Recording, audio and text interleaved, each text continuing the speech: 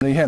एक alert Venus remedies को लेकर है कि नौ इकाइयों को यूक्रेन जीएमपी से मंजूरी मिली है और इसका एक रिएक्शन भी है। शेयर करीब पाँच फ़ीसदी ऊपर कामकाज कर रहा है। दो सौ अड़तालीस, दो सौ उनचास का स्तर यहाँ पर देखने को मिल रहा है। एक अच्छी खासी बाइंग वीनस रेमेडीज के शेयर में देखने को मिल रहा है। इसके अलावा एक और भी अलर्ट है, उस पर भी नज़र डाल लेते हैं। जो अलर्ट है, वो है एनसीसी गायत्री बजट को लेकर कि एनसीसी पावर में हिस्सा खरीदी खबरों का कंपनी ने खंडन किया है।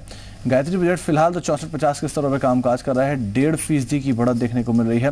लेकिन खबर जो है वो एनसीसी पावर में सिलाई खरीदने को खंडन किया है। वीनस रेमेडीज आपके सामने है। सडन स्पाइक डे हाई पर विद वॉल्यूम्स बाइंग आई है और करीब चार फ़ीसदी ऊपर है और गायत्री बजट करीब